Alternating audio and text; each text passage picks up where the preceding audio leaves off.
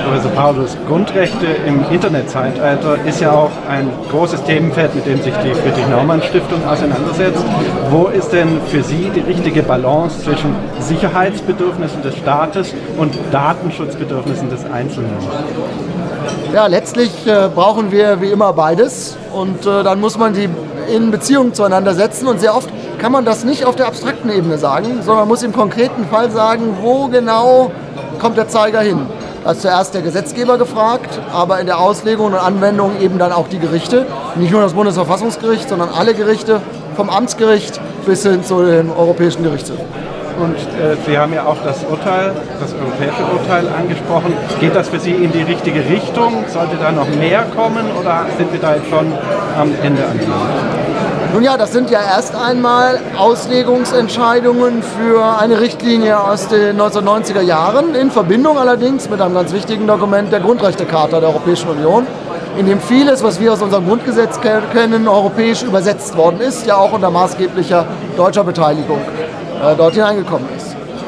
Jetzt ist es aber auch Aufgabe der Gesetzgebung, auch der europäischen Gesetzgebung, äh, hier erst einmal als Vertreter der Bürgerinnen und Bürger äh, das anzuwenden und neu zu übersetzen für unsere Zeit.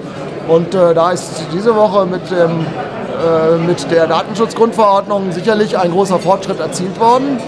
Aber das reicht noch nicht aus.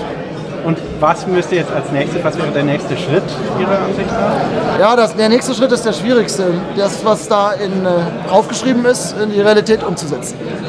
Und äh, hier sind erst einmal Verwaltungsbehörden gefragt, hier sind aber auch die Bürgerinnen und Bürger gefragt. Wenn Sie sich überlegen, wer das äh, Urteil dieses Jahres im Fall Schrems äh, erzeugt hat, äh, dann ist das der Bürger Schrems, der gesagt hat, ich kann nicht dulden, dass Facebook mit meinen Daten macht, was es will. Dafür habe ich Facebook meine Daten nicht gegeben zu diesem Zweck. Und äh, er ist als Akteur tätig geworden, denn die Gerichte können nur etwas tun, wenn die Bürgerinnen und Bürger sich selbst ihre Rechte, ähm, ihre Rechte berühmen und äh, diese Rechte gelten. Und die Gerichte haben dann die Aufgabe, äh, die Rechte der Bürger zu schützen, aber auf der anderen Seite auch das Recht aller Bürger äh, und die Sicherheit, die Sicherheitsbedürfnis, ohne die es ja auch keine Freiheit gibt, äh, das dann in die Tat umzusetzen. Aber äh, das Grundrechtsverständnis, äh, und das hat es vielleicht mit Liberalen gemeinsam, äh, fängt beim einzelnen Bürger an und dessen Rechte. Und dessen Interesse natürlich auch, frei zu sein und gleichzeitig das, diese Rechte in Sicherheit ausüben zu können.